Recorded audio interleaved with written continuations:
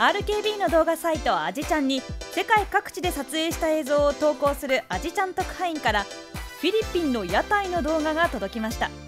えー今回はフィリピンのバロットという料理を、えーレポートしたいと思います。亀沢特派員が向かったのはパンパンガ州の屋台。バロットと呼ばれるゆで卵がいくつもあります。店主が割って見せてくれました見た目はすごいグロテスクなんですけど。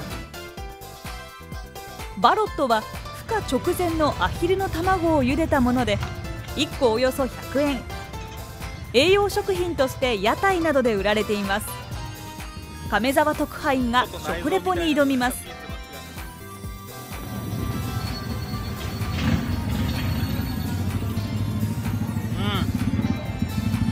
美味しいですちょっと硬いとこが出てきました。ポリポリしててすごい。